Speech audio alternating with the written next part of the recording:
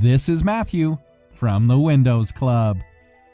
If you wish to fix Windows Update errors 0x800705B4, 0x8024402F, or 0x8024002E on your system, then either read through this article on the website or simply watch this video.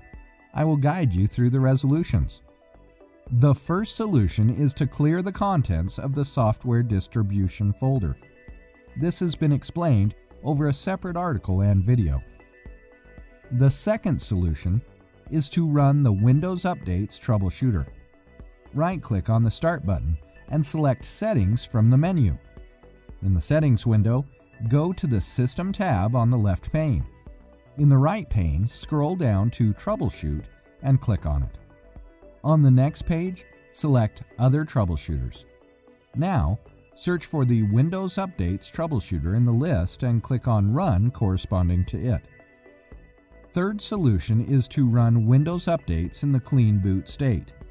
To do so, press the Windows key and the R button together. This will open the Run window. In the Run window, type the command msconfig and hit Enter to open the system configuration window. Go to the Services tab. Check the box associated with Hide All Microsoft Services. If any service is still checked, select Disable All. Select Apply and then click on OK. You will now be prompted to restart your system. Click on this. This will reboot the system in the clean boot state. Isn't this easy and interesting? If you have any doubts, please go to the original article on the Windows Club and write your question. We will surely answer it. Thank you for watching this video. Have a nice day.